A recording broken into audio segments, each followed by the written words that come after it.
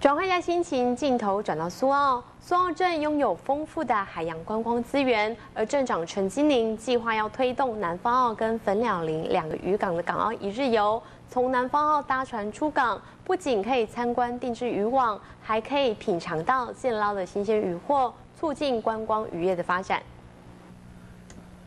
苏澳镇拥有国内三大渔港之一的南方澳渔港，以及景致优美的粉鸟林渔港，还有壮丽的太平洋，渔业观光资源丰富。苏澳镇长陈金林上任之后，就计划来推动南方澳以及粉鸟林渔港的港澳一日游。游客从南方澳搭船出海前往粉鸟林，除了参观定制渔网的捕捞现况之外，还可以到粉鸟林渔港旁的海鲜店品尝现捞新鲜渔获。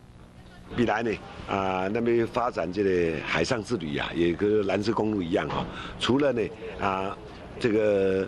体验一日船夫啊以外呢，我们希望呢，能够将来的发推展呢，啊，这个港澳一日游啊，就是对南澳渔港出发的啊，啊，来家分家拿，先来看烟拉康的休闲的时阵，啊了，在十二点左右。来这边这个一起人家拍卖，吼，那个情景啊，来体验。啊，这边啊，咱望讲餐厅的门面啊，创较好些，叫我都来吸引观光客，吼。我想按你来讲，带动咱锁定的未来呢，啊，这个发展的这个观光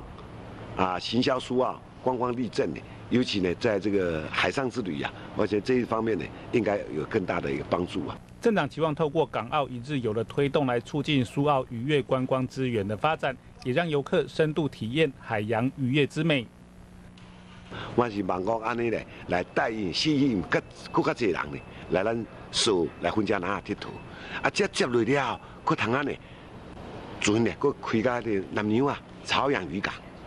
草养渔港，遐嘛有真济租租呢，个只共款好多盐啊坑。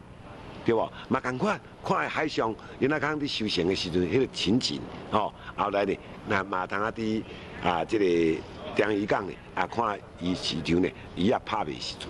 拍卖迄个情景，吼。啊，这个目前来讲，遮济那坑吼，在咱所有所有这部分呢，东南亚地区呢，东澳这个那坑是上好的，很丰硕啊。过去妈妈迄个完成啊，妈妈伫遮第一尾完成。唔知前几年啊，第一尾完成嘛嘛是原来刚先掠到的。宜兰新闻记者石世民采访报道。